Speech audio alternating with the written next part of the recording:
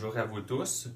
Euh, là, je refais une autre captation dans les toilettes parce que euh, j'ai des problèmes techniques, ça prend du financement, puis on est à l'automne, puis il n'y a pas beaucoup d'éclairage. Puis vu que je suis débutant en entrepreneuriat, ben on est un peu limité là-dessus. C'est ça, c'est les défauts des grands films là. Donc là, euh, j'ai tellement de projets, j'ai besoin de beaucoup de petits dessous. Donc, vu que j'ai dans un local éclairé, je fais ça dans les toilettes. Si vous avez regardé ma liste de lecture Je ne crois pas au système, vous avez sûrement regardé la vidéo sur l'école, qu'est-ce que j'en pense. Donc, on va faire un petit devoir. Pourquoi le monde va à l'école? Vous le savez. Vas-y.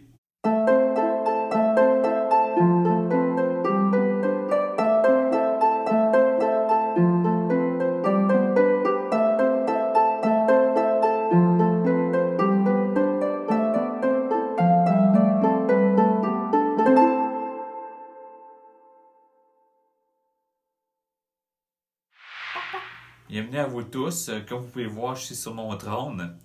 Donc là, euh, aujourd'hui, je vais vous parler de ma confiance en le marché du travail. Si vous avez écouté mes autres vidéos passionnantes et palpitantes, ben euh, vous devez avoir un doute que j'accorde aucune confiance là-dessus. Là, pour éviter que je, je répète la même salade tout le temps, tout le temps, tout le temps, il y a des éléments exclusifs que je vais dire dans cette capsule, mais je vous invite à regarder mes deux listes de lecture qui consistent à parler de pourquoi être entrepreneur en situation de handicap et ma vie de troubadour. Par la suite, ben, j'aimerais ça aussi, dans l'avenir, parler des droits du travail en situation de handicap. Euh, parce qu'il y a une croyance que, oui, il y a des entreprises qui n'ont pas le choix de recruter du monde en situation de handicap, mais ça, il y a des euh, points qu'on va débattre là-dessus. Et là, on va commencer par le premier argument, tout le monde, c'est que je travaille dans le public et euh, il m'arrive souvent que les gens m'abordent sur mon handicap. Je l'ai expliqué plusieurs fois dans les autres capsules, vous devez en le savoir. Mais qu'il y a des questions comme comment tu, sers d'un iPhone, comment tu peux envoyer des textos, comment tu fais pour servir d'Internet? Il y a même un moment donné un passant qui pensait que je ne savais pas c'était quoi Vidéotron.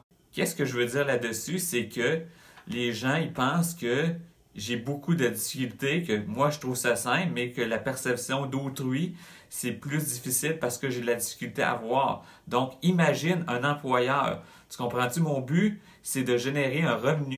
L'autre argument que je tiens à déblatérer avec vous, c'est que je suis maître de mes actions. Qu'est-ce que je veux dire? Pourquoi que je devrais me casser la tête pour trouver un emploi quand c'est très difficile en situation de handicap? Un autre argument, mais j'en ai peut-être un peu parlé dans mes autres capsules, c'est que, mais je le répète, ça je le tiens vraiment, les gens pensent qu'il y a juste une source de revenu principale qui est le travail, être salarié. Tu comprends-tu? Il y a juste ça. Mais en réalité, quand tu vois toutes les possibilités, tu mets, tu vois pas le, travail comme salarié comme sur un piédestal. Donc, tu as d'autres possibilités comme l'affiliation marketing, le dropshipping, le boskin. Je vais vous dire la pire affaire. C'est ce qui m'a vraiment démotivé pour faire une recherche en emploi. Faire un portrait de la situation, mon argument, c'est l'incohérence. La raison, c'est que l'organisme en question a de très belles valeurs ils veulent euh, insérer, par exemple, personnes en situation de handicap pour, euh, dans la vie de tous les jours, mais au processus de recrutement, ça ne fonctionne pas. Là, je vais vous faire un cas fictif. Ce n'est pas vrai, euh, ça n'existe pas. C'est une entreprise qui fabrique des cannes blanches à la ville de Québec. Donc là, l'employeur en question veut favoriser le lifestyle de ceux qui ont un handicap visuel, il veut dire pour se promener, les déplacements. Malheureusement, l'employeur ne veut pas une personne non-voyante avec un chien guide. Pourquoi? Ben parce que, on va dire, les raisons, c'est parce que ça peut saliver partout selon ses perceptions, ou euh, ça traîne, ça fait le bordel. L'employeur veut favoriser l'insertion sociale, mais ne tolère pas l'outil de palliation euh, du chien guide. Donc, selon la Charte des droits et libertés, l'employeur n'a pas le choix d'offrir les outils à ses employés en situation de handicap pour pallier à son handicap. Donc, dans le cas, c'est son chien guide, c'est une nécessité. Pourquoi il interdit son chien guide? Alors? C'est clos la vidéo, tout le monde.